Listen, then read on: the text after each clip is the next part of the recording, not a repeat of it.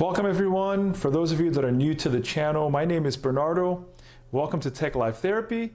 This is video 25, week 9 of our Tech Therapy sessions. And today we're looking at the Philips Outdoor Sensor. This device allows you to automate your Philips Hue outdoor lights as well as your indoor lights. And in today's video, I'm going to show you what's in the box. I'll show you how to set this up in the app and then also why you need one of these for your outdoor lights. There's a lot of safety and security reasons that you should add one of these to your collection. So we'll do an unboxing, go through it, but first, let me know and drop in the comments what is your favorite outdoor hue color setting. I love setting mine up according to the season and the holidays, but what's your favorite color? How do you light up your home? Drop it in the comments below and share with the community. Let's get into it.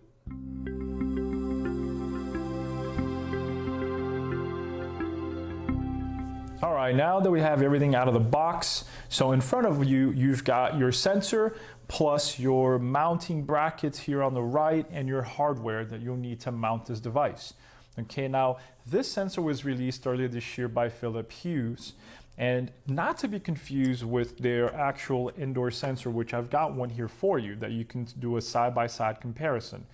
Okay, so what is the big difference between these two? Your outdoor version, okay, can pick up motion 32 feet away versus your indoor version will do about 15 feet. Okay, now your outdoor and your indoor, there is a $10 cost difference. This costs $49 versus your indoor will cost you 39 but the outdoor version is resistant to all weather conditions. So keep that in mind, okay?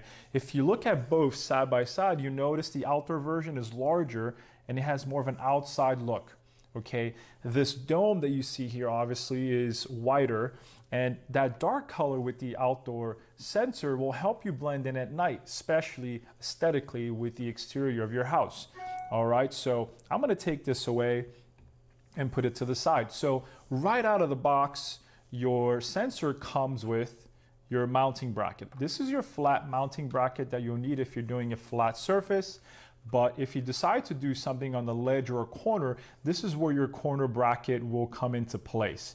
Okay, and it does come with instructions to help you put them together, which certainly helps. Obviously, mounting it outside will be a little more work because you'll have to screw your brackets into place as it does come with a couple of screws, all right, and you'll need a screwdriver. But it's super easy to install and you wanna make sure that you mount it because in case someone's highly motivated to steal it, the only way they can take it is if they bring a screwdriver with them.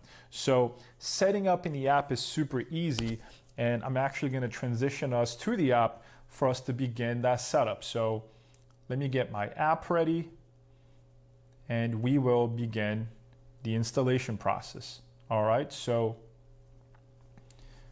so if I'm in the app, I'm gonna go to settings, okay? And we're gonna go to add an accessory.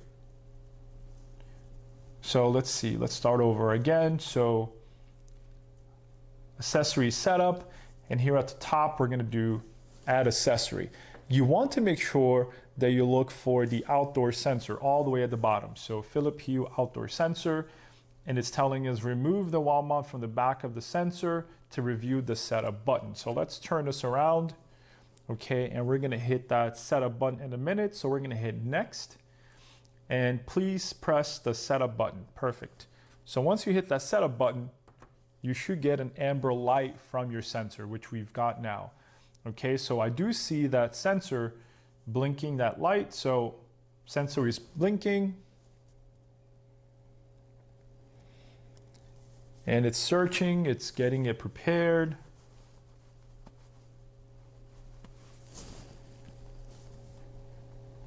It does take a few minutes, and I definitely recommend doing this inside, near your bridge. So once setup is done, there it is. So now it's successfully connected and I need to identify where I want the sensor to be added. We'll add it to my front yard. Perfect, and it's telling me that it's all set and done. All right, awesome. So once you do program it and you have it set up, getting it into a schedule is super easy. Okay, you just have to go into the Philip Hue app, which we're not going to go into today, but it's something easy to do. Another feature of this actual sensor is it works as a temperature sensor as well. For that, you do need to have it hooked up to your HomeKit device, to your HomeKit through your Apple or you know iOS device, and you can see the temperature outside if you set it up that way. Okay. You can also use it to turn on your indoor lights. You know, even though this is an outdoor device, I plan on setting it up with my living room lights in the event that when we're not home, it will turn on the lights inside of the house, which will also keep anyone lurking around my property. It will help keep them away. All right. So, so if you have a Philip Hue light, this is a great addition to your setup. You know, the only negative thing that I can think of about this Philip Hue setup is the cost. You know, getting into this ecosystem is not cheap. Philip Hue does have the most expensive setup when it comes to their light bulbs and some of their accessories, but this is something that I'm certainly looking forward to it and I can't wait to put it outside because I do have a couple of lights out in my yard, okay, and I can't wait to have that effect in case someone does approach my property for it to sort of steer them away.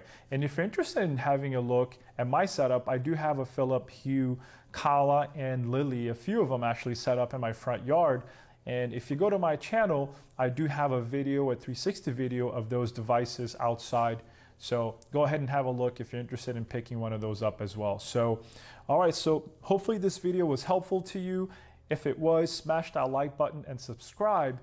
And if you have any questions or comments, please write them below. If you have anything that you want me to review or touch on regarding Philip Hughes and that ecosystem, as I do own a couple of those devices. So once again, thank you for watching, and I look forward to posting some more videos soon. Take care.